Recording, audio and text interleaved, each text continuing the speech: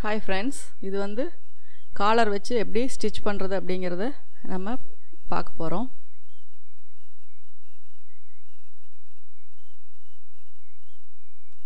Lining cloth நீங்கள் எப்போவுமே சுடிதாருக்கு நீளமாக டபுளாக மடிச்சுக்கோங்க.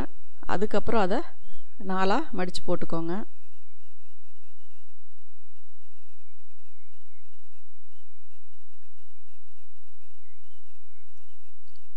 இப்போ நம்ம லைனிங் கிளாத் வந்து எந்த ஒரு க்ரஷும் இல்லாத மாதிரி நீட்டாக அயன் பண்ணிக்கோங்க. இதில் வந்து நீங்கள் ஆஸ் யூஷுவல் எப்பவும் போல் நீங்கள் ம மெஷர்மெண்ட் எடுத்து வச்சுருப்பீங்க. அதை வந்து நீங்கள் அதே ப்ரொசீஜர் படி எல்லாமே மெ இது பண்ணிக்கோங்க. முதல்ல டாப் லென்த்து எவ்வளோன்னு பார்த்து டாப் லென்த்து மார்க் பண்ணிக்கோங்க. இதில் வந்து உங்களுக்கு அட்ஜஸ்ட் பண்ண வேண்டிய மெஷர்மெண்ட்ஸ் வந்து நீங்கள் ஷோல்டர்தும் ஆம் ஹோல்து மட்டும்தான் நீங்கள் அட்ஜஸ்ட் பண்ணுற மாதிரி வரும். மற்ற மெஷர்மெண்ட் எல்லாம் உங்களுக்கு சேம் நீங்கள் எப்படி ஒரு நார்மல் சுடிக்கு நீங்கள் மெஷர் பண்ணுறீங்களோ அதே மாதிரி தான் வரும். இப்போது இது ஷோல்டரில் வந்து மேலே வந்து எவ்வளோ லென்த் அப்படிங்கிறத நம்ம மார்க் பண்ணிக்கிறோம். ஷோல்டர் நீங்கள் பதினாறு இன்ச்சு வந்துச்சுன்னா அதை ரெண்டாக பிரித்து எட்டு இன்ச்சு மார்க் பண்ணிக்கோங்க. அதில் வந்து எந்த டவுட்டும் இல்லை. நெக்கு வந்து காலருக்கு தகுந்த மாதிரி வந்து உங்களுக்கு நெக்குடைய அகலம் வந்து மாறும். சிலது க்ளோஸாக இருக்கும் சிலது வைடாக இருக்கும். அது அந்த எந்த டைப் காலர் அப்படிங்கிறத பார்த்துட்டு நீங்கள் அதுக்கு தகுந்த மாதிரி மார்க் பண்ணிக்கோங்க. இப்போ இதில் வந்து நான் ரெண்டே முக்கால் வந்து மார்க் பண்ணியிருக்கேன். இப்போ இதில் ஃபஸ்ட்டு ஆம்ஹோல் அளவு அடுத்தது வெயிஸ்ட் லென்த்து அடுத்தது ஹிப்போடைய நம்ம சைடு கட்டு வைக்கிறதுக்கான அந்த லென்த்து அதை வந்து டேப் வச்சு நம்ம மார்க் பண்ணிக்கிட்டோம். இப்போ இது வந்து நம்ம ஃபஸ்ட்டு மார்க் பண்ணுறது வந்து செஸ்ட்டு ரவுண்டு நம்ம வந்து இதில் ஒம்பதரை இன்ச்சு நான் மார்க் பண்ணுறேன் அடுத்தது இடுப்பு சுற்றளவு. எப்போ நீங்கள் எப்படி மெஷர் பண்ணி வச்சுருக்கீங்களோ அதே மாதிரி ஒன் ஃபோர்த் வேஸ்ட்டு மார்க் பண்ணிக்கோங்க. அடுத்தது ஹிப் மெஷர்மெண்ட்டு இது எப்படி நீங்கள் எடுத்து வச்சுருக்கீங்களோ அதே மாதிரி நீங்கள் மார்க் பண்ணிக்கோங்க. கீழே வந்து அதே மாதிரி ஸ்ட்ரைட் வேணுமா அகலம் வேணுமாங்கிறதுக்கு தகுந்த மாதிரி கீழே மார்க் பண்ணிக்கோங்க. மேலே ரெண்டு செஸ்ட்டுக்கும் வேஸ்ட்டுக்கும் ஒன்றரை இன்ச்சு வச்சுக்கோங்க. ஹிப்புக்கும் கீழே டவருக்கும் ஒவ்வொரு இன்ச்சு ஆட் பண்ணிக்கோங்க. இப்போ இது எல்லாத்தையுமே நீங்கள் லைன் பண்ணி கரெக்ட் பண்ணி போட்டுக்கோங்க. ஷோல்டர் அளவு மட்டும் பார்த்துக்கோங்க. ஒன் பை டூ நீங்கள் அப்படியே பதினாறு இன்ச்சு வந்துச்சுன்னா எட்டு இன்ச்சு வச்சு நீங்கள் ஷோல்டர் மார்க் பண்ணியிருக்கோம்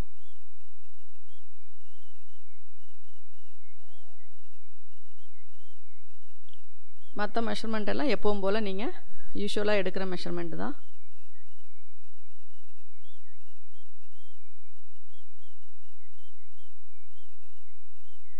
கீழே வந்து ஒரு ஆஃப் இன்ச் வச்சு லைட்டாக ஒரு ஸ்லாண்டிங்காக ஒரு லைன் போட்டுக்கோங்க.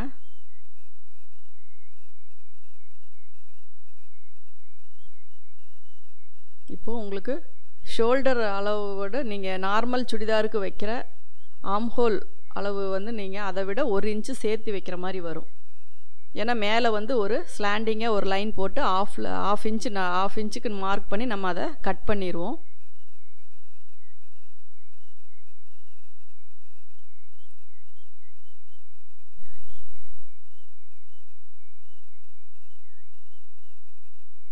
இப்போ இது மேலே இருக்கிறது வந்து உங்களுக்கு ஃப்ரண்ட் தட்டு. ஆம் ஹோல் பார்த்திங்கன்னா உங்களுக்கு சும்மா லைட்டாக ஒரு கர்வ் தான் வரும். நம்ம நார்மலாக வைக்கிற சுடிதார் மாதிரி வராது. இப்போ இதையும் நீங்கள் ஆஸ் யூஷுவல் எப்போவும் போல் மெஷர் பண்ணிக்கோங்க. ஆம் ஹோல் ரவுண்டு கரெக்டாக வருதான்னு பார்த்து அதை நீங்கள் வந்து மெஷர் பண்ணிக்கலாம். கீழே அந்த ஸ்லாண்டிங்கை ஒரு இது பண்ணிக்கோங்க. அப்போ தான் உங்களுக்கு ஸ்டிச் பண்ணும்போது அந்த கார்னர் கொஞ்சம் நீட்டிகிட்டு இருக்காமல் இருக்கும்.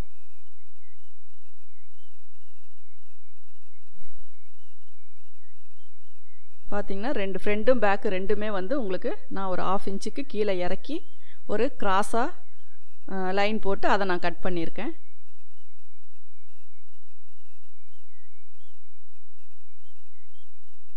மற்ற ஷேப் எல்லாமே வந்து நீங்கள் உங்கள் நார்மலாக நெக் வச்சு தைக்கிற சுடிதாருக்கு எப்படி வெட்டுறோமோ அதே மாதிரி தான்.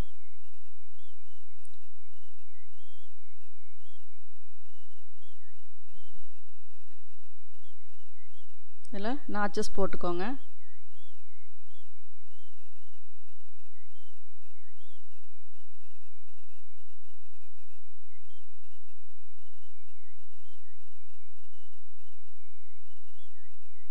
இது வந்து உங்களுக்கு ஃப்ரண்ட்டு ஏன்னா மேக்ஸிமம் நம்ம ஃப்ரண்ட் அண்ட் பேக் வந்து ஏதோ ஒரு இதில் வெட்டும்போது மாறிடும் அதனால் நீங்கள் எப்போவுமே நோட் பண்ணி வச்சுக்கோங்க. அது அதே மாதிரி ஃப்ரண்ட்டில் வந்து டிசைன் வந்துச்சுன்னா உங்களுக்கு வந்து ஃப்ரண்ட் பேக் மாறாமல் இருக்கணும்னா நீங்கள் அதை மென்ஷன் பண்ணிக்கணும். இப்போ இது பேக்கில் கரெக்டாக ரெண்டே முக்காலுக்கு நான் மார்க் பண்ணி ஒரு ஆஃப் இன்ச்சுக்கு ஒரு அந்த நெக் அளவுக்கு மட்டும் நான் அதை கட் பண்ணி எடுத்துட்றேன் இது வந்து உங்களுக்கு ஷோல்டர் ஜாயின் பண்ணும்போது ஈஸியாக இருக்கும். காலர் வைக்கும்போது ஈஸியாக இருக்கும். இல்லைன்னா நீங்கள் அதுக்கப்புறம் ஸ்டிச் பண்ணதுக்கப்புறம் அது வெட்டுற மாதிரி வரும். அதனால் இதை வந்து நம்ம முன்னாடியே அதை கட் பண்ணிக்கிறோம். இப்போ அதே ரெண்டே முக்கால் இன்ச்சுக்கு மேலே இதுக்கு வந்து ஒரு சின்னதாக ஒரு நாச்சோ இல்லாத ஒரு ஊசி மார்க்கோ ஏதோ ஒன்று நீங்கள் மேல் பக்கத்துக்கு மார்க் பண்ணிக்கோங்க. இப்போ இது வந்து நம்ம சைடு ஷே இதுக்கு ஸ்லிட்டுக்கு வெயிஸ்ட்டுக்கு ஆம்ஹோல் டெப்த்துக்கு எல்லாத்துக்குமே நீடில் மார்க் போட்டுக்கோங்க. அதுக்கப்புறம் டாட்டு டாட்டுக்கு வந்து நீங்கள் அதை கரெக்டாக ஆஃப்பாக அடித்து சென்டரை நல்லா க்ரீஸ் பண்ணி விட்டுட்டு எட்டு இன்ச்சுக்கு நீங்கள் நீடில் மார்க் போட்டுக்கோங்க. உங்களுக்கு டாட் வந்து ஃப்ரண்ட்லேயும் வேணும். ஃப்ரண்ட்டில் டாட் பிடிச்சாலும் ஃபிட்டிங் கரெக்டாக வரும். ஃப்ரண்ட்லேயும் டாட் வேணும் அப்படின்னா நீங்கள் ஃப்ரண்ட்லேயும் பிடிச்சிக்கலாம் பேக்லேயும் பிடிச்சிக்கலாம். ஃப்ரண்ட்டில் ஓவரால் லூஸ் வருது அப்படின்னா நீங்கள் ஃப்ரண்ட் டாட்டும் பிடிச்சிக்கலாம். இப்போ கரெக்டாக எட்டு இன்ச்சுக்கு நான் சென்டர் பண்ணி இப்போ மார்க் பண்ணியிருக்கேன். இப்போ இதுக்கு மூணு இதுக்கு நீடில் மார்க் போட்டுக்கிட்டேன். இந்த நீடில் மார்க்கெல்லாம் இருந்துச்சுன்னா உங்களுக்கு ஸ்டிச் பண்ணும்போது ரொம்ப ஈஸியாக இருக்கும். இதெல்லாம் இல்லாட்டினா ஒவ்வொரு டைமும் நீங்கள் மெஷர் பண்ணி மெஷர் பண்ணி ஸ்டிச் பண்ணுற க இது பண்ணுற மாதிரி வரும். ஆம் ஹோல் அதே மாதிரி லைட்டாக ஒரு கேர்வ் லைன் டெப்த்து மட்டும் வரும். அது ஃப்ரண்ட் தட்டு எதுன்னு பார்த்து அதில் மட்டும் கரெக்டாக கட் பண்ணுங்கள் இப்போ பார்த்தீங்கன்னா பேக்கில் மட்டும்தான் நான் நெக்குக்கு வந்து ஒரு ஆஃப் இன்ச்சு வச்சு கட் பண்ணியிருக்கேன். ஃப்ரெண்டுக்கு நான் வந்து கட் பண்ணவே இல்லை. அதே மாதிரி ஃப்ரண்ட்டுக்கு மட்டும்தான் ஆம் ஹோல் டெப்த்து கட் பண்ணுறோம் பேக் வந்து கவனமாக அதில் மிஸ் ஆகி கட் ஆகிராமல் கரெக்ட் பண்ணிக்கோங்க. அதுக்கு ஒரு நாச் போட்டுக்கோங்க. அந்த நாச் இருந்தால் மட்டும்தான் உங்களுக்கு டக்குன்னு அது ஃப்ரண்ட் அப்படிங்கிறது தெரியும். அதே மாதிரி ஃப்ரண்ட்டு நெக்குக்கு ஒரு கட் போட்டுக்கோங்க. இப்போ இது வந்து உங்களுக்கு ஃப்ரண்ட் அண்ட் பேக் வந்து ரெடி ஆயிடுச்சு. அடுத்தது நம்ம ஸ்லீவ் வெட் வெட்டுறோம். ஸ்லீவ் வந்து எல்போ வரைக்கும். அதனால் துணி உங்களுக்கு கம்மியாக இருக்கிறனால நீங்கள் இதில் ஜாயின் போட்டுக்கலாம். ஸ்லீவ் லென்த்து நீங்கள் எவ்வளோ எடுத்து வச்சுருக்கீங்களோ அதுக்கு தகுந்த மாதிரி எப்பவும் போல் மூணு ரேஞ்சு வச்சு ஆம்கோல் லைன் போட்டு நீங்கள் அதை கட் பண்ணிக்கலாம்.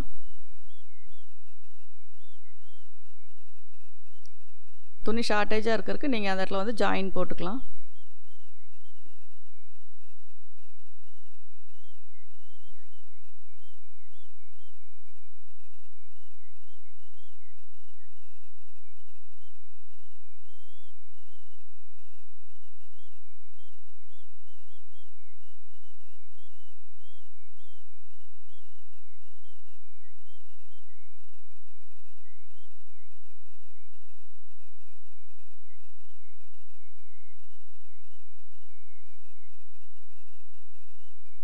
ஜாயின் போடுற பீஸை கட் பண்ணி உள்ளே வச்சுக்கோங்க. அந்த ஷேப்பில் நீங்கள் ஜாயின் போட்டுக்கலாம். இது ஒரு பா குண்டூசி போட்டு பின் பண்ணிக்கோங்க.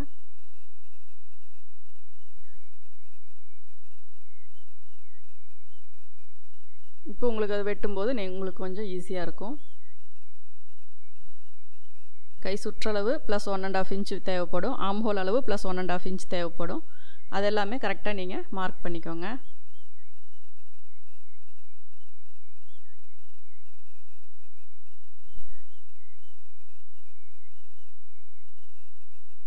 இப்போ நீங்கள் ஸ்லீவ் கட் பண்ணிக்கலாம்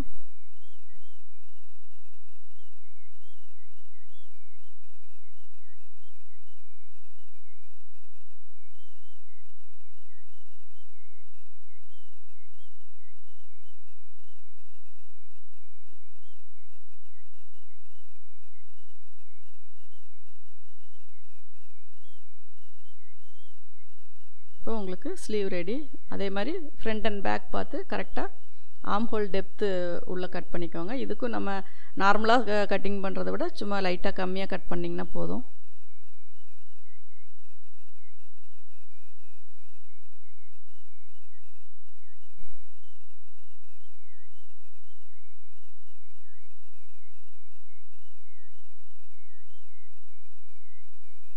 இப்போ இது காலருக்கு வந்து நெக்கு கேன்வாஸ் கட் பண்ணுறோம் என்ன நீங்கள் மாடல் ப எந்த நெக்கு வைக்கணும் எந்த மாதிரி காலருக்கு வைக்கணும் அப்படின்னு நீங்கள் ஏதாவது ஒரு இமேஜ் பார்த்துருந்தீங்கன்னா அதுக்கு தகுந்த மாதிரி இதில் நீங்கள் வந்து காலரை வந்து ட்ரா பண்ணிக்கலாம். நான் வந்து அதில் ரெண்டே முக்கால் இன்ச் வந்து உங்களுக்கு நெக்கோட அளவு குறிச்சிருக்கேன். அதே ரெண்டே முக்கால் இதில் வந்து நீங்கள் குறிச்சிக்கோங்க. அதே மாதிரி நெக்கோட முன் முன்பக்க நெக்குடைய அளவு. அதோட நம்ம ஒரு ஆஃப் இன்ச்சு சேர்த்துவோம். அதையும் நீங்கள் மார்க் பண்ணிக்கோங்க. மார்க் பண்ணிவிட்டு நீங்கள் அது எப்போவும் நம்ம பேட்ச் ஒர்க்குக்கு போடுற மாதிரி நீங்கள் வந்து ஒரு லைன் போட்டு ஒரு ஸ்கொயர் போட்டுக்கோங்க. ஏன்னா ஃப்ரண்ட்டில் உங்களுக்கு ஓப்பன் கொஞ்சம் இருந்தால் தான் உங்களுக்கு வந்து வேர் பண்ணும்போது கொஞ்சம் ஈஸியாக போகும். ஏன்னா காலர் அப்படிங்கும்போது ரொம்ப க்ளோஸ்டாக இருக்கும். இப்போ நெக்கோடைய காலருடைய ஷேப்பை பொறுத்து இது பண்ணி. இப்போ வந்து இதில் நான் வந்து மூணு இன்ச்சு மார்க் பண்ணி ஒரு கேர்வ் லைன் வரைகிறேன்.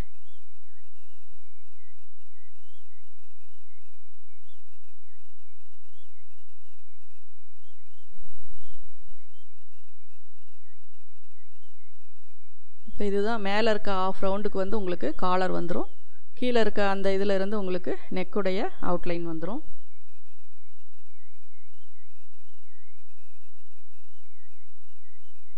ஓப்பன் எவ்வளோ வேணும் அப்படிங்கிறத பார்த்துட்டு நீங்கள் அதுக்கு தகுந்த மாதிரி நெக்கோடைய அவுட்டரை கட் பண்ணிக்கலாம்.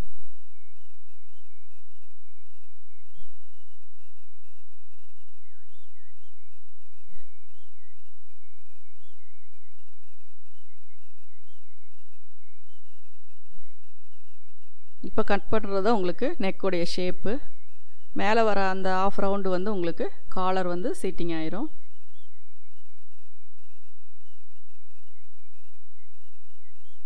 ஃப்ரண்ட்டில் வந்து ஓப்பன் பண்ணி விட்டுக்கோங்க.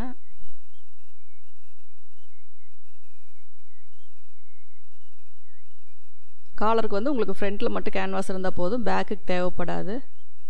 இப்போ இதுதான் உங்களுக்கு காலரோட ஷேப் இப்போ மெயின் கிளாத்து இதில் வந்து டிசைன் பார்த்திங்கன்னா உங்களுக்கு எலிஃபெண்ட்டோட டிசைன் வந்துருக்கு. அதனால் எல்லாம் ஒரே பொசிஷனில் இருக்கிற மாதிரி தான் நீங்கள் கட் பண்ணணும். ஃப்ரண்ட்டும் பேக்கும் டிசைன் மாறாமல் கட் பண்ணணும். எப்போவுமே இந்த மாதிரி டிசைன்ஸ் வந்துச்சுன்னா கொஞ்சம் கேர்ஃபுல்லாக பார்த்து கட் பண்ணணும். எல்லாம் ஒரே ஃப்ரண்ட்லேயும் பேக்கில் ஸ்லீவ்ஸில் எல்லாமே ஒரே மாதிரி அது யானையோட அந்த ஒரே பொசிஷன் மாறாமல் கரெக்டாக இருக்கிற மாதிரி வச்சு தான் கட் பண்ணணும். இப்போ நம்ம மெயின் கிளாத் வந்து அதில் ப்ளேஸ் பண்ணுறோம்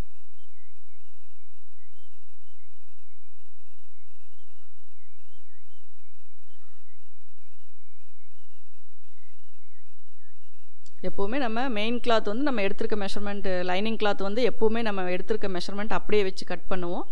மெயின் கிளாத் வந்து அதோட ஒரு ஒன் அண்ட் ஆஃப் இன்ச் சேர்த்து கட் பண்ணுவோம். இது வந்து நம்ம ஃபோல்டிங் பண்ணும்போது நமக்கு தேவையான லென்த்து கரெக்டாக வந்துடும்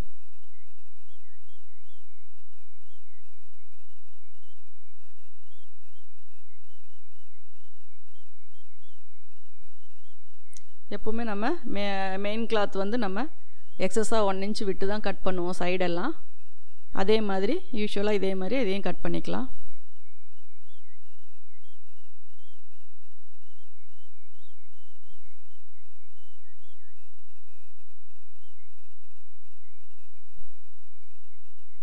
மேலே ஷோல்டர் மட்டும் கரெக்டாக கட் பண்ணணும். ஏன்னா ஷோல்டரில் மேல் பக்கம் அதிகமாக துணி விட்டிங்கன்னா உங்களுக்கு லென்த் அதிகமாகிரும் அதனால் கரெக்டாக ஷோல்டர் வந்து கரெக்டாக கட் பண்ணணும். சைடு மட்டும்தான் உங்களுக்கு எக்ஸஸாக கிளாத் வரணும். இப்போ இது வந்து நம்ம டிசைன் ப்ராப்ளம் இருக்கிறனால இதை ஒரு பீஸ் மட்டும்தான் கட் பண்ணியிருக்கோம். அதனால் அதை பால் அந்த பின் எல்லாம் போட்டு இன்னொரு பீஸ் வந்து அதே பொசிஷனில் வச்சு நம்ம கட் பண்ண போகிறோம் உங்களுக்கு பிளெயின் கிளாத்து ஈவனாக ஒரே மாதிரியான டிசைன் வந்துச்சுன்னா நீங்கள் நாலு இது ஒன்றா போட்டு ஒரே இதாக கட் பண்ணிக்கலாம். இதில் டிசைன்ஸ் வரும்போது மட்டும் நம்ம கொஞ்சம் கேர்ஃபுல்லாக பார்த்து கட் பண்ணணும்.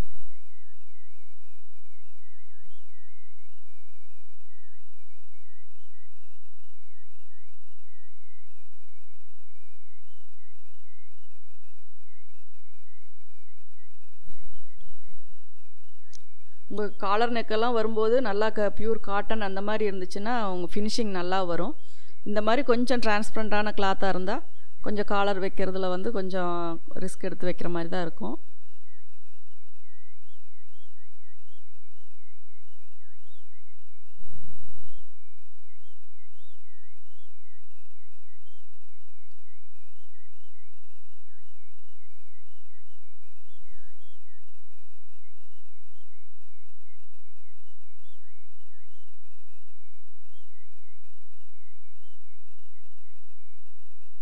மேலே பார்த்தீங்கன்னா கரெக்டாக அதே அளவுக்கு நம்ம கட் பண்ணுறோம் அதே ஸ்லாண்டிங் வந்து அப்படியே வச்சுக்கோங்க. நீங்கள் ஸ்டிச் பண்ணும்போது கரெக்டாக அந்த ஷோல்டர் வந்து கரெக்டாக வச்சு எல்லாம் இது பண்ணிக்கலாம்.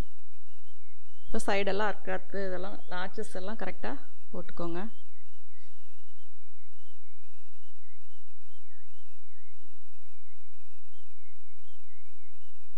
இப்போ ஃப்ரண்ட் அண்ட் பேக் ரெடி அதே மாதிரி நம்ம இப்போ ஸ்லீவ் ஸ்லீவுக்கும் அதே மாதிரி எலிஃபண்ட் டிசைன் வந்து கரெக்டாக ஒரே மாதிரி வரணும். அதனால் அதுக்கு தகுந்த மாதிரி துணியை கட் பண்ணி நீங்கள் போட்டுக்கோங்க.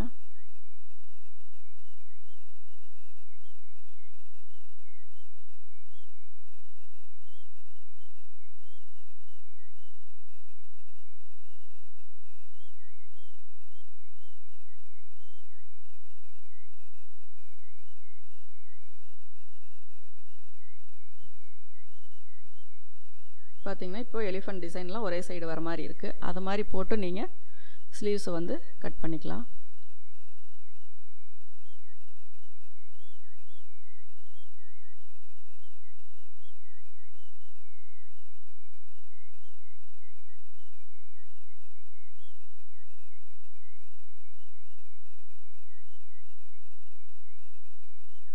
ஸ்லீவ் அதே மாதிரி எக்ஸஸாக விட்டு கட் பண்ணி நம்ம அந்த நாச்சு எவ்வளோ நமக்கு லென்த்து வேணுமோ அது போட்டிருக்கிற அளவுக்கு வச்சு நம்ம அடித்து கரெக்ட் பண்ணி திருப்பிக்கலாம். இப்போ அந்த நெக்கு கேன்வாஸை வந்து நம்ம ஒரு லைனிங் கிளாத்தில் அயன் பண்ணிட்டோம். அந்த அவுட்ரு வந்து நீங்கள் நல்லா நீட்டாக மடித்து ஒரு தையல் போட்டுக்கோங்க.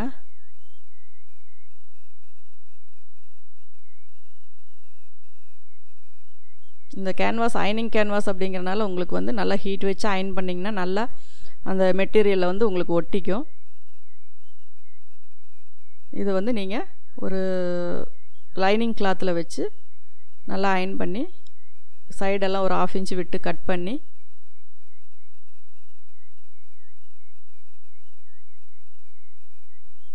சைடு கவர் பண்ணி அடிச்சுக்கோங்க.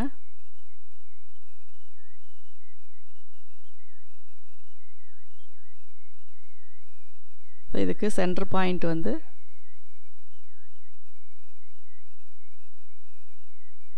நாச் போட்டுக்கோங்க. இப்போ இது வந்து நீங்கள் ஸ்லீவ்ஸ் எல்லாம் எப்பவும் போல் நீங்கள் லைனிங்கோடு வச்சு அட்டாச் பண்ணி ரெடி பண்ணிக்கோங்க. ரைட் லெஃப்ட்டு இது வந்து உங்களுக்கு ஃப்ரண்ட்டு அதே மாதிரி டாட்டெல்லாம் பிடிச்சி எல்லாம் சைடில் வந்து நாச்சஸ் எல்லாம் போட்டு ரெடி பண்ணிக்கோங்க. இதில் வந்து ஃப்ரண்ட்டுக்கும் டாட் போட்டிருக்கு பேக்குக்கும் டாட் போட்டிருக்கு. உங்களுக்கு எப்படி உங்களுக்கு இது பண்ண முடியுமோ அது மாதிரி நீங்கள் ஃப்ரண்ட்டுக்கு வேணும்னா டாட் போட்டுக்கலாம். வேண்டாம் அப்படின்னா நீங்கள் யூஸ்வலாக விட்டுட்டு பேக் டாட் மட்டும் பிடிச்சிக்கலாம்.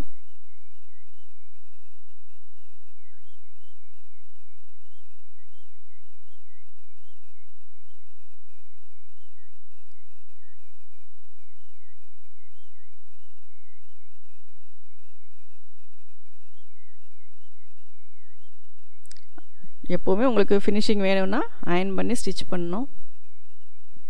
இப்போ ஃப்ரண்ட்டு ஃப்ரண்ட்டு வந்து இந்த நெக்கு எப்படி அட்டாச் பண்ணுறது அப்படிங்கிறத கொஞ்சம் கவனமாக பாருங்கள் மேலே வர அந்த ஆஃப் ரவுண்டுக்கு வந்து நாம் வந்து இப்போ தையல் போட போகிறதில்ல அதே மாதிரி சென்ட்ரல் நமக்கு அந்த லென்த்து வர்றதும் வந்து கரெக்டாக சென்டரில் வந்து சீட்டிங் ஆகணும். இல்லாட்டினா நெக்கு வந்து க்ராஸாக போயிடும் அதனால் இப்போ இதில் வந்து எயிட்டீன் இருந்துச்சுன்னா உங்களுக்கு கரெக்டாக நைனில் வந்து அது செட் ஆகணும். அது மாதிரி வச்சு நீங்கள் ஒரு குண்டூசி போட்டுக்கோங்க.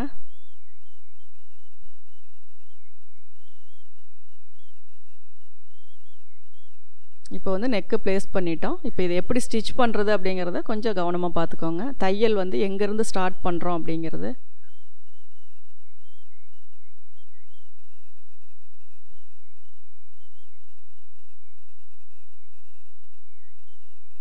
கேன்வாஸ் மேலே தையல் தேவையில்லை. கேன்வாஸை ஒட்டி நீங்கள் லைனிங் கிளாத்தில் தையல் போட்டிங்கன்னா போதும். கரெக்டாக அந்த ஓப்பனில் நீங்கள் நீங்கள் அயன் பண்ணும்போதே சும்மா லைட்டாக அதை வந்து ஓப்பன் பண்ணி வச்சு நீங்கள் அயன் பண்ணிக்கிட்டாலும் ஓகே தான்.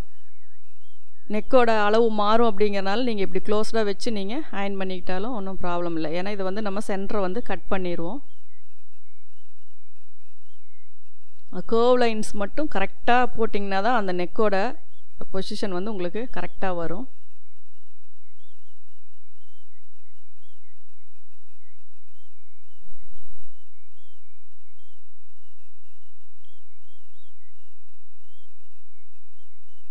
எப்போவுமே நீங்கள் ஸ்டிச்சிங் ஸ்டார்ட் பண்ணும்போதும் முடிக்கும் போதும் பேக் ஸ்டிச் போட்டிங்கன்னா தான் அந்த இடம் உங்களுக்கு பிரியாமல் இருக்கும். இல்லைன்னா அடுத்த பீஸ் வச்சு ரெடி பண்ண இதாகும்போது உங்களுக்கு அது வந்து பிரிஞ்சிரும்.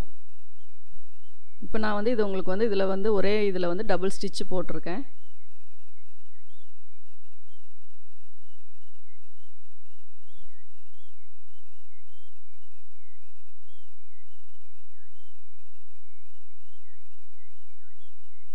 கரெக்டாக நம்ம ஸ்டார்ட் பண்ண இடத்துல தான் கொண்டு வந்து முடிக்கிறோம்.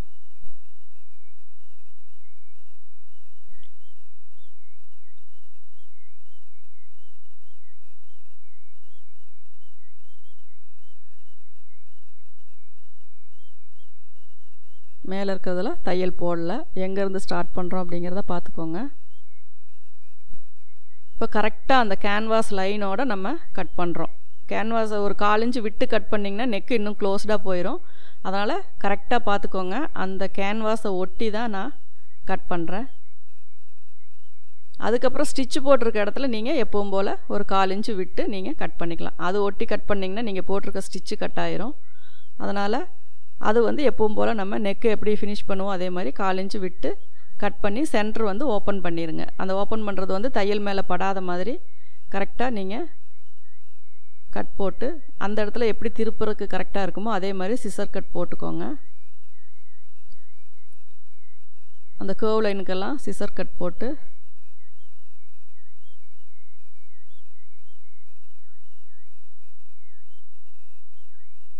இப்போ வந்து நீங்கள் நெக்கை வந்து திருப்பிக்கோங்க. நல்லா நகத்தில் வச்சு நல்லா இது பண்ணி விட்டுட்டு கார்னரெல்லாம் கரெக்ட் பண்ணி நீங்கள் திருப்பிக்கோங்க.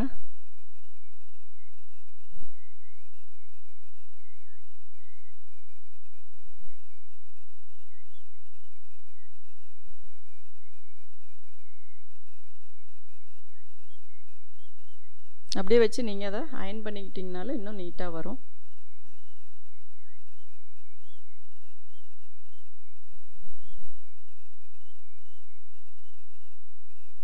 ஷேப் மாறாமல் கரெக்டாக இது பண்ணி ஃபினிஷ் பண்ணி கரெக்டாக திருப்பிக்கோங்க. நல்லா நகத்தை வச்சு நல்லா ப்ரெஸ் பண்ணி விடுங்க. இப்போ வந்து மேல் பக்கம் வந்து அதை நம்ம ஒரு தையல் போட்டுக்குவோம். ஏன்னா இல்லாட்டினா உங்களுக்கு அந்த இது வந்து அளவு மாறிடும் அதனால் மேலே நம்ம வந்து எதுவும் ஸ்டிச் பண்ணாத இடத்துல நம்ம வந்து அந்த பிசுறு இருக்கிற பக்கமே அப்படியே வச்சு ஒரு தையல் போட்டுக்க போகிறோம் இப்போ பார்த்தீங்கன்னா நெக்கோடைய ஷேப் உங்களுக்கு வந்துருச்சு. இப்போ இதில் வந்து நீங்கள் ஒரு தையல் போட்டுக்கோங்க.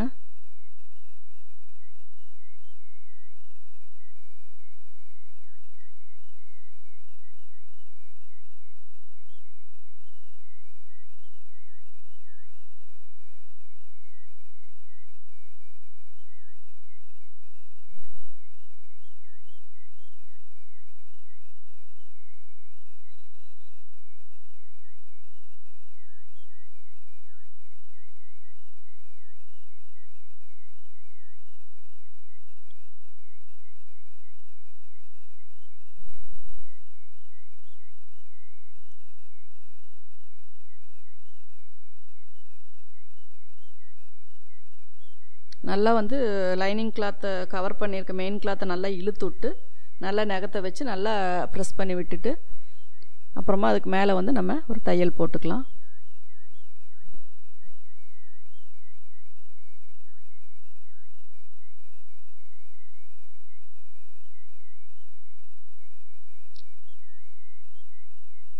இது வந்து நம்ம சென்டரில் வந்து அந்த ஓப்பன் வந்து கவர் பண்ணுறக்காக உள்ளே வந்து ஒரு கிளாத் வைக்கணும்.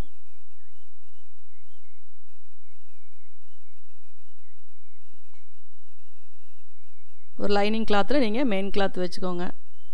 மெயின் கிளாத் வந்து உங்களுக்கு காட்டனாக இருந்தால் அதையே ஃபோல்ட் பண்ணி வச்சுக்கலாம். இந்த மெட்டீரியல் வந்து டிரான்ஸ்பரண்ட்டாக இருக்கனால உள்ள லைனிங் வந்து அட்டாச் பண்ணிவிட்டு வைக்கிற மாதிரி இருக்குது அதனால் உள்ளே வந்து ஒரு அது வந்து உங்களுக்கு கொஞ்சமாக திக்னஸ் வேணும். இல்லாட்டினா நம்ம ஹூக் போடும்போது அது டேமேஜ் ஆயிரும். இப்போ இது வந்து லைனிங்கோடு வச்சு நான் அட்டாச் பண்ணியிருக்கேன்.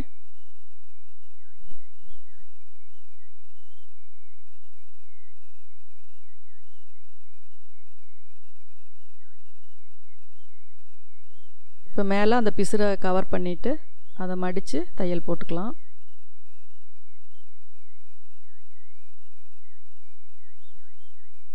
இது வந்து ஃப்ரண்ட்டு ஓப்பன் பீஸு இது வந்து நம்ம உள்ளே வச்சு கவர் பண்ணுறக்காக வைக்கிறது.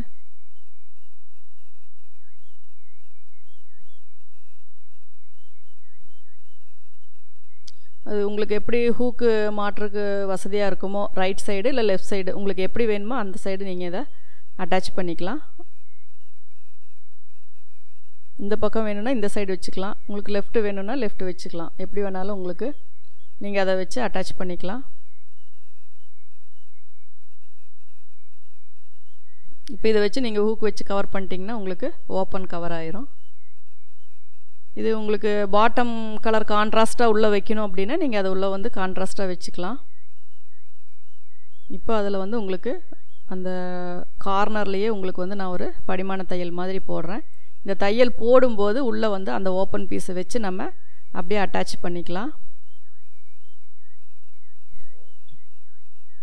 அந்த பீஸ் வந்து உள்ளே கொஞ்சம் அகலமாக இருக்கணும். அப்போ தான் நம்ம ஹூக் போட்டால் கூட அந்த ஓப்பன் தெரியாத மாதிரி இருக்கும். அந்த இடத்துல நல்லா பேக் ஸ்டிச் போட்டுக்கோங்க. தையல் பிரியாத மாதிரி. அப்புறம் அதே அகலத்துக்கு நீங்கள் ஸ்ட்ரைட் பண்ணி கீழே கொண்டு வந்துடுங்க சுருக்கு அந்த இடத்துல கீழே அந்த ஜாயின் அந்த டேர்ன் பண்ணுற இடத்துல வந்து உங்களுக்கு வந்து சுருக்கு இல்லாமல் இருந்தால் தான் ஃபினிஷிங் நீட்டாக வரும். அதனால் அதை வந்து நல்லா நீங்கள் கொஞ்சம் கவனமாக பார்த்துக்கோங்க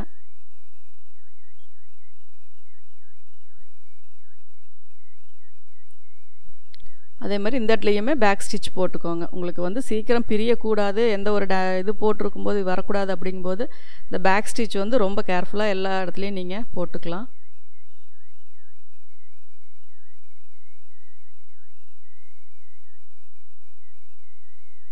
இப்போது நம்ம வந்து ஹூக் போட அந்த இடத்துல ஓப்பன் தேவை. அதனால் அப்படியே வச்சு கவர் பண்ணி நம்ம ஸ்டிச் பண்ண முடியாது. அதனால் சும்மா லைட்டாக ஒரு ஒரு ஒரு ஒரு ஆஃப் இன்ச்சுக்கு மட்டும் ஸ்டிச்சு போட்டுட்டு அதுக்கப்புறம் நம்ம அந்த உள்ளே வச்சுருக்க ஓப்பன் பீஸை தையல் படாமல் அந்த ஓப்பன் பீஸை அந்த பக்கம் தள்ளி விட்டுட்டு நீங்கள் வந்து ப்ரெஷர் ஃபுட்டை எடுத்துட்டு அதுக்கப்புறம் ஸ்டிச் போடுங்க. இது எப்பவும் போல் நீங்கள் இந்த பக்கம் அப்படியே அந்த ஸ்டிச்சை கண்டினியூஸாக கொண்டு வந்து முடிச்சுருங்க. அந்த கேர்வ் லைன் வந்து ரைட் லெஃப்ட் ரெண்டு பக்கமும் ஒரே மாதிரி வரணும். அப்போ தான் நெக்கோடைய டிசைன் வந்து மாறாமல் ஒரே மாதிரி வரும்.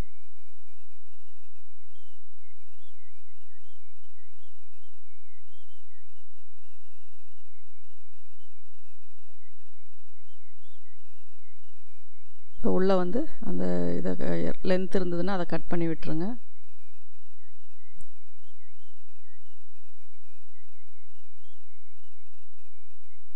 பார்த்திங்கன்னா பேக் சைடு வந்து ஒரு பீஸ் மட்டும் நம்ம அட்டாச் பண்ணியிருக்கோம்.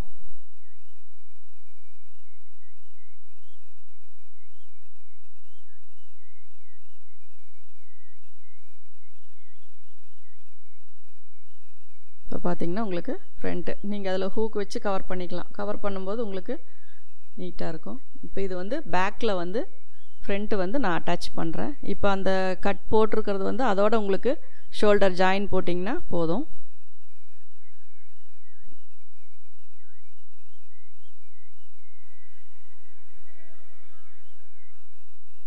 கரெக்டாக எல்லாம் நீங்கள் கரெக்டாக ஸ்டிச் பண்ணிங்கன்னா ஷோல்டர் அளவு அந்த இது எல்லாமே உங்களுக்கு வந்து கரெக்டாக வரும். இப்போ வந்து நம்ம ஷோல்டர் ஜாயின் பண்ணிட்டோம் அந்த ஆஃப் இன்ச்சுக்கு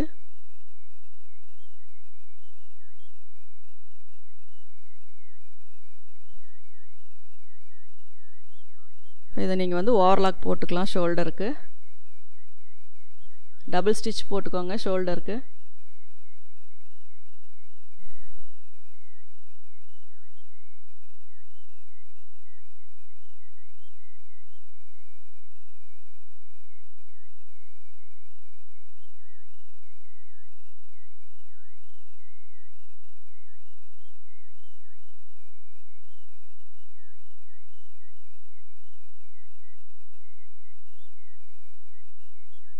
அதே மாதிரி உங்களுக்கு அந்த ஓப்பன் பீஸுக்கும் நீங்கள் கரெக்டாக கொஞ்சம் எக்ஸஸாக துணி விட்டு அதுக்கு தகுந்த மாதிரி ஓவர்லாக் போட்டு கவர் பண்ணிக்கோங்க.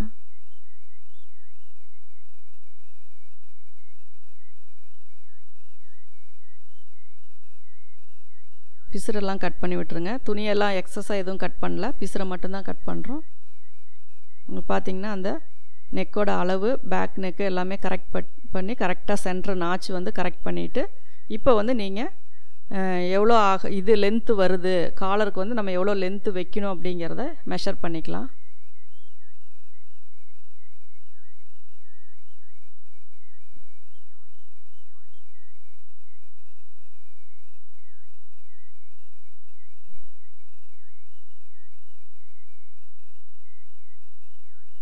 இப்போ காலர் வந்து எவ்வளோ லென்த்து வேணும் அப்படிங்கிறத நான் அதில் மெஷர் பண்ணிட்டேன்.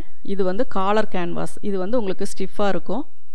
இதில் வந்து நம்ம காலர் கேன்வாஸு எவ்வளோ லென்த்து வேணும் அப்படிங்கிறத மார்க் பண்ணுறோம் இப்போ நம்ம வந்து அது மா ஒன் சைடு பதினாலு இன்ச்சு வந்துச்சுன்னா நம்ம ரெண்டாக மடிச்சிருக்கிறனால ஏழு இன்ச்சு வச்சுக்கிறோம்.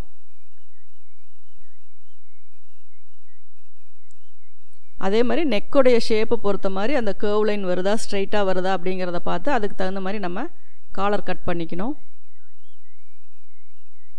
இப்போ ஏழு இன்ச்சு வருது நமக்கு. அது வந்து லைட்டாக ஒரு கேர்வ் லைனோட நீங்கள் மெஷர் பண்ணி பார்த்துக்கோங்க. அதை மார்க் பண்ணி அதுக்கு தகுந்த மாதிரி நீங்கள் கேன்வாஸ் வந்து வெட்டிக்கோங்க. ரொம்ப வந்து அகலமான கேன்வாஸ் வச்சா உங்களுக்கு அது ஃபினிஷிங் நல்லா இருக்காது. ஒரு ஒன் இன்ச்சு அந்த அளவுக்கு மட்டும் நீங்கள் கேன்வாஸ் வந்து ரெடி பண்ணிக்கோங்க. கீழே இப்போ பார்த்தீங்கன்னா ஒரு லைட்டாக ஒரு கர்வ் லைன் மட்டும்தான் போட்டிருக்கேன். இந்த பின் போட்டிங்கன்னா தான் உங்களுக்கு வந்து ஸ்லிப் ஆகாமல் இருக்கும். இல்லாட்டினா நீங்கள் வெட்டும் போது கேன்வாஸ் வந்து ஸ்லிப் ஆகிட்டே இருக்கும்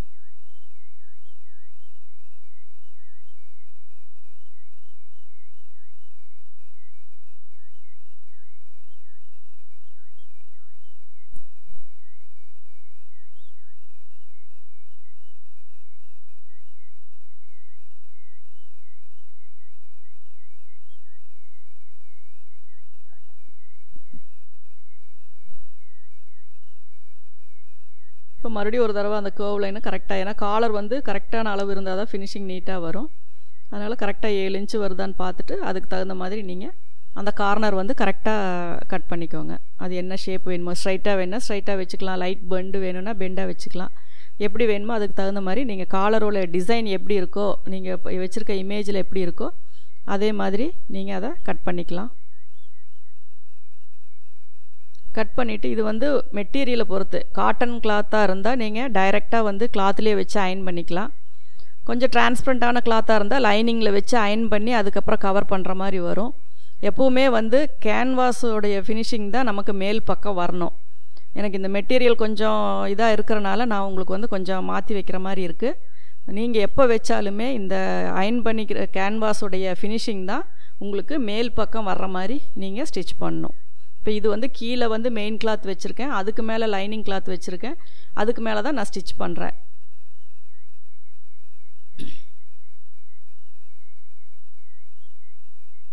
காலரை விட ஒரு கால் இன்ச் எக்ஸஸாக விட்டு நான் இதை கட் பண்ணுறேன் இப்போ இதை வந்து நான் ஃபோல்டு பண்ணி மேலே ஒரு தையல் போடுறேன்.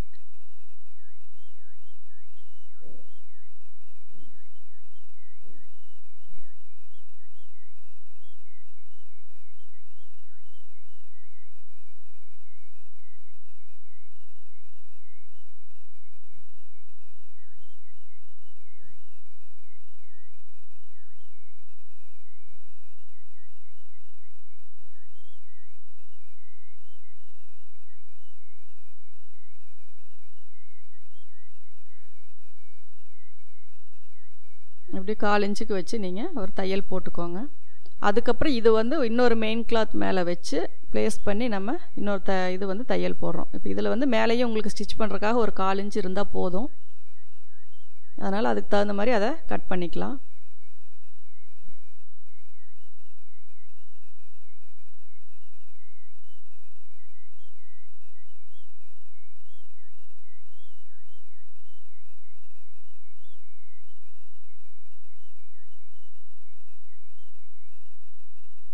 நம்ம இது ம அந்த மடித்து தைச்சிருக்க பகுதியிலேருந்து நல்லா பார்த்து எப்படின்னு அந்த கேன்வாஸோட ஒட்டி நம்ம தையல் போடுறோம். இது வந்து நம்ம ஸ்டிச்சிங் அந்த ஒரு ஸ்டிச்சிங் பண்ணுற அளவுக்கு நமக்கு வந்து துணி இருந்தால் எக்ஸஸாக இருந்தால் போதும். மீதியெல்லாம் இந்த கிளாத் எப்படி இருக்கோ அதே அளவுக்கு நம்ம கட் பண்ணிக்கிறோம். கரெக்டாக கேன்வாஸை ஒட்டியே நான் இதில் தையல் போடுறேன். பிளா பேக் டாட் போட்டு பேக் ஸ்டிச் போட்டு அதே மாதிரி அந்த கேன்வாஸை ஒட்டி அப்படியே நம்ம தையல் போடுறோம்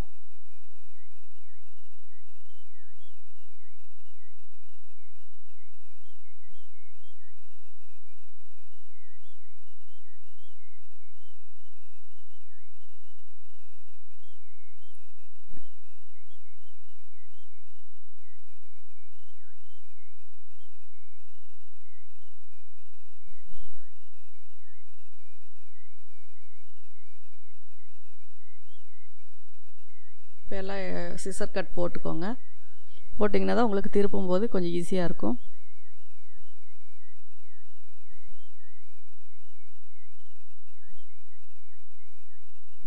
இப்போ கரெக்டாக நமக்கு ஸ்டிச் பண்ணுற அளவுக்கு மட்டும் கிளாத் இந்த கிளாத் ரொம்ப டிரான்ஸ்பரண்ட்டாக இருக்குது அதனால் உங்களுக்கு கொஞ்சம் கவனமாக பிசுறு வர மாதிரி இருக்குது கொஞ்சம் கவனமாக அதை அப்பப்போ எக்ஸஸாக விட்டு தான் கட் பண்ணுற மாதிரி வரும். இப்போ இதுக்கு கரெக்டாக சென்ட்ரு பார்த்து நீங்கள் அதெல்லாம் க ஒரு க இதுக்கு நாச்சு போட்டுக்கோங்க.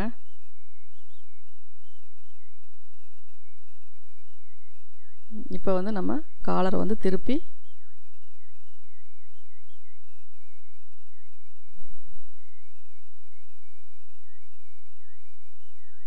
ஃபஸ்ட்டு காலரில் வந்து நீங்கள் இது சென்ட்ரு நாச்சு இதுலேயும் போட்டிருக்கீங்க. உங்களுடைய பேக் இதுலேயுமே வந்து சென்ட்ரு நாச்சு போட்டிருக்கீங்க. ஃபஸ்ட்டு அந்த ரெண்டு நாச்சஸையும் வச்சு நீங்கள் ஒரு ஸ்டிச் போட்டுக்கோங்க. அதுக்கப்புறம் காலரை வந்து நீங்கள் கவர் பண்ணி தைச்சிங்கன்னா உங்களுக்கு அந்த சென்ட்ரு வந்து மாறாமல் கரெக்டாக ஈவனாக வரும். எப்போவுமே கேன்வாஸுடைய இது தான் நமக்கு மேல் பக்கம் வரணும். கேன்வாஸ் ஃபினிஷிங் தான். ஆனால் இதில் கொஞ்சம் எனக்கு மெட்டீரியல் கரெக்டாக இல்லாதனால நான் இதை வந்து கொஞ்சம் சேஞ்ச் பண்ணி வைக்கிறேன்.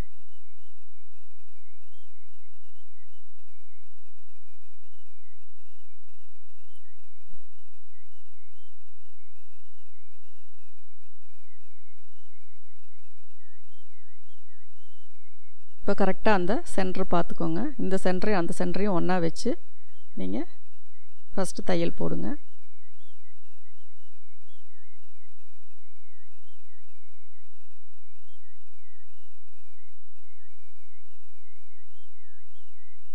அதே மாதிரி அந்த ஷோல்டர் ஜாயிண்ட்டை வந்து நீங்கள் ஃப்ரண்ட் சைடு வந்து நீங்கள் தள்ளி விட்டுருக்கோங்க. ஸ்லீவ் அட்டாச் பண்ணும்போது அதே மாதிரி ஃப்ரண்ட் சைடு வந்து நீங்கள் அதை தள்ளி விட்டுக்கலாம். பேக்கில் விடுறத விட ஃப்ரண்ட்டில் காலருக்கு மட்டும். மற்றதெல்லாம் நீங்கள் எப்போவுமே பேக் சைடு ஷோல்டர் ஜாயிண்டிங் அதை நீங்கள் பார்த்துக்குவீங்க. இதில் வந்து ஃப்ரண்ட் சைடு வந்து நீங்கள் அதை தள்ளி விட்டுக்கலாம். அந்த ஷோல்டர் வரும்போது மட்டும் கொஞ்சம் துணி வந்து அந்த இடத்துல சுருக்கம் இல்லாமல் கரெக்டாக வச்சு நீங்கள் தையல் போடுங்க.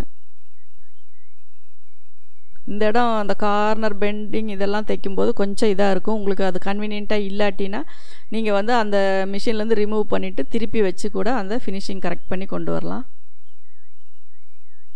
கரெக்டாக வந்து அந்த இதில் வந்து வச்சு தையல் போட்டுக்கலாம்.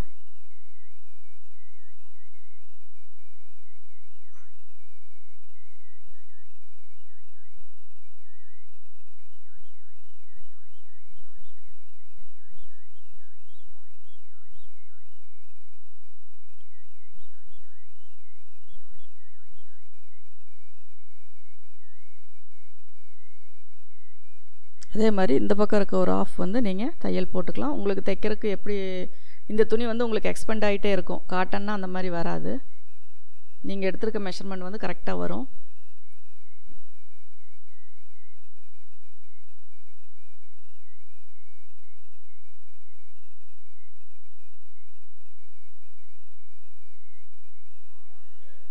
இதுலேயும் வந்து அந்த கார்னர் வந்து நீங்கள் கரெக்டாக வச்சு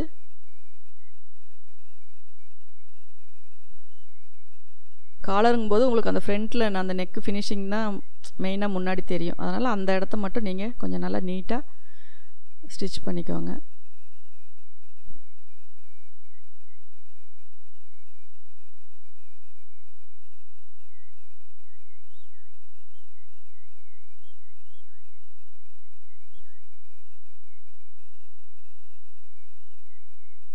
இதுவுமே கரெக்டாக மறக்காமல் அந்த ஷோல்டர் ஜாயினிங் வந்து ஃப்ரண்ட் சைடு வந்து நீங்கள் ஃப்ரண்ட் சைடு மடக்கி வச்சுட்டு அப்புறமா தையல் போடுங்க.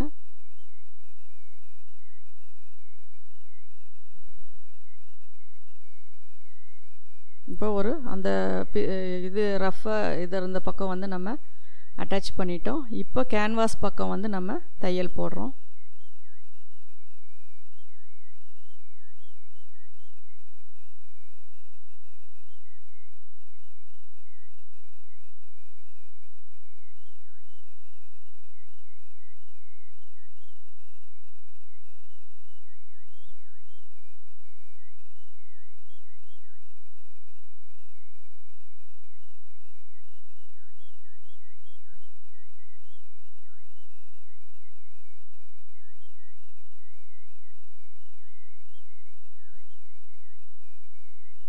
இப்போ நம்ம காலர் வந்து இதில் அட்டாச் பண்ணிட்டோம். மறுபடியும் மேல் பக்கமாக ஒரு தையல் போட்டுக்கலாம் அதில்.